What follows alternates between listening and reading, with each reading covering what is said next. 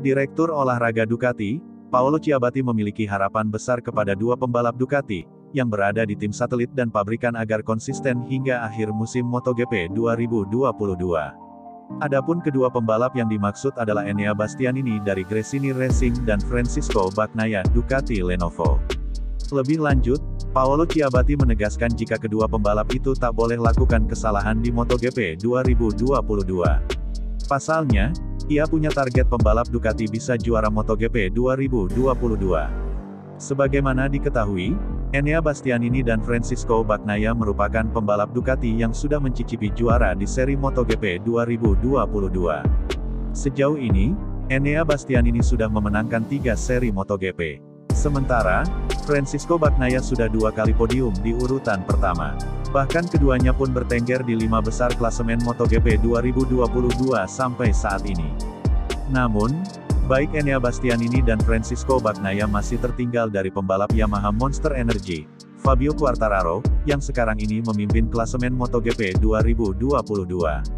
Sekadar informasi, Fabio Quartararo ada di posisi pertama dengan perolehan 147 poin. Menyusul di posisi kedua, pembalap Aprilia, Alex Espargaro, 125 poin. Kemudian, Enea Bastianini di peringkat ketiga dengan 94 poin. Sementara Francisco Bagnaia di tempat kelima, 81 poin. Sebenarnya, ada lagi satu pembalap Ducati, yang berasal dari tim satelit Pramac Ducati, Johan Zarco di lima besar. Johan Zarco sudah mengantongi 91 poin sampai saat ini.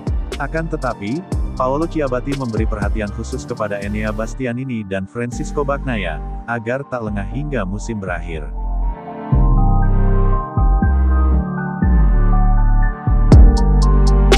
Pasalnya, hanya dua pembalap itu yang sudah mencicipi podium juara di MotoGP 2022.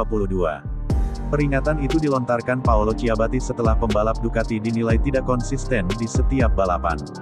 Ia menilai tim lain memiliki satu pembalap yang bisa mendapatkan hasil bagus di setiap balapan.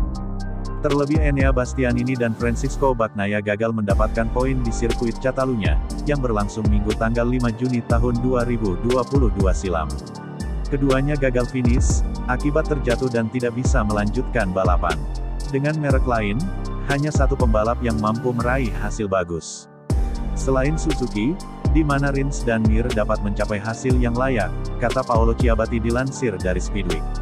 Sebelumnya, Paolo Ciabatti juga merasa kecewa, lantaran Francisco Bagnaia kehilangan poin di Prancis, akibat terjatuh. Meski berhasil bangkit untuk meraih kemenangan di Italia, tetapi Peko sapaan akrab Francisco Bagnaia harus kehilangan poin di Catalunya. Tentu sangat disayangkan Bagnaia kehilangan setidaknya 20 poin di Le Mans. Kami berharap itu tidak akan terjadi lagi. Sayangnya, di Barcelona sebelum tikungan satu, terlibat dalam kecelakaan dengan Takaki, Nakagami dan Alex Rins, jelasnya. Lebih lanjut, Paolo Ciabatti menuntut Francisco Bagnaia dan Enea Bastianini untuk konsisten di setiap balapan.